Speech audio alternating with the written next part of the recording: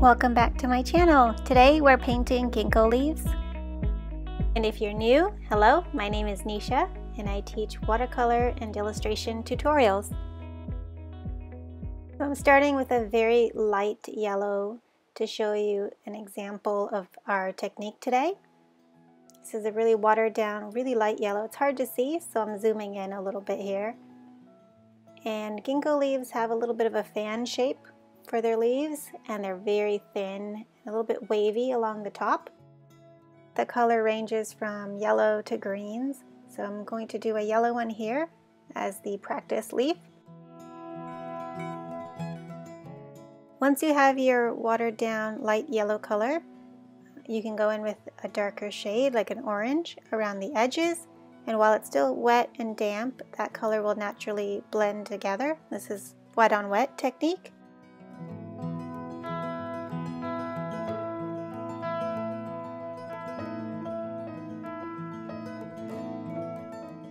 You can keep a paper towel on hand and then just use a clean brush to take away any extra water or color if it gets too wet.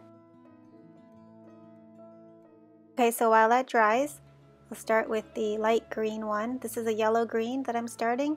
So just like we did the sample leaf, I'm putting in the fan shapes and this is the first layer. So all of them are pretty light and I will make several of them coming off of one branch. I'll also link a reference image below that you can refer to. So if you want to keep that on hand while you paint, it might be helpful. And then again, while it's still a little bit damp, I'm adding in that darker green around the edges. One of the things to remember about this technique is to know when to stop.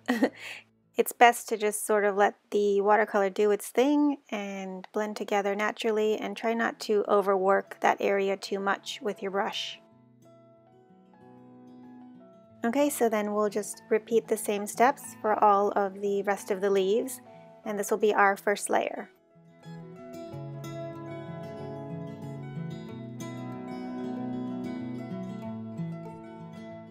One thing that can give your painting some more interest as well is to vary up your shades of green.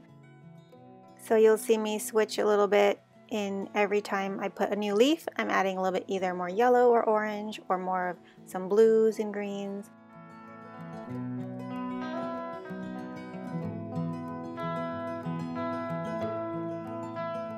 Also, when you're painting, keep in mind not just your colors, whether they lean more yellow or blue, Keep in mind that some are going to be darker and more shadowed if they're behind a leaf and if they're more in front they'll have more water so they're diluted a bit more and they're going to be a little bit lighter.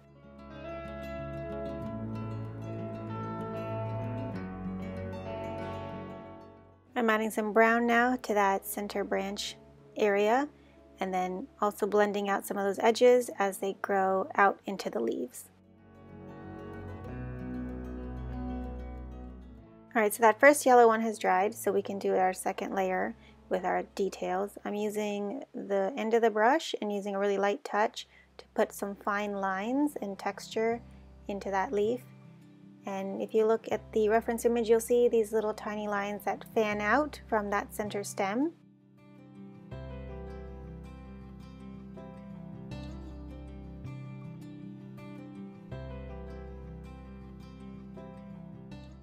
Okay, so if you've practiced on your practice leaf, we'll go back to the main one. I'm putting in that second layer, which is a little bit more shadows, and then the third layer, I'll add in the texture lines.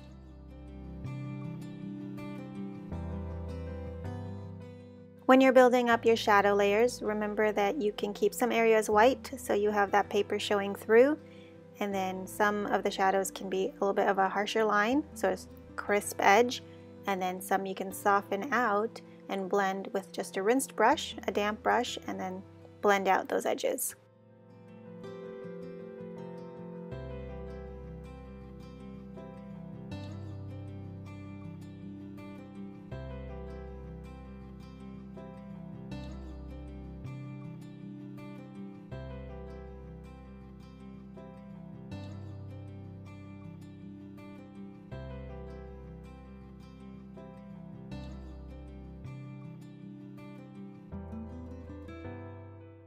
Okay, and then after it's dried a little bit, you can go in with those texture lines that look like a little fan.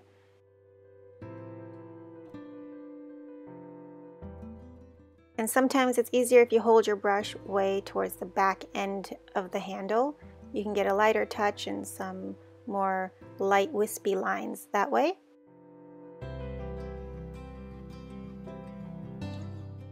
If you ever have an area that has too many lines or got too dark, just use a little bit of paper towel to dab it up.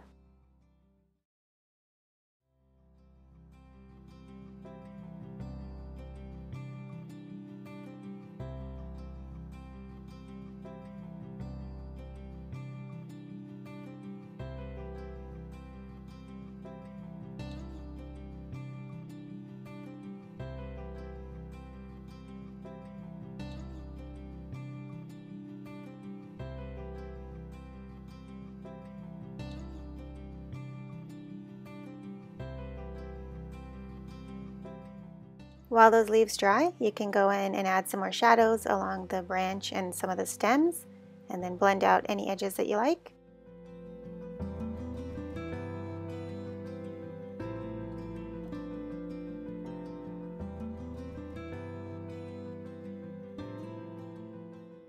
And then also to remember is the shadows and the lines will be a bit darker where they attach to each stem. So closer to the branch it'll be darker and then lighter as they fan out upwards to the edges of the leaf.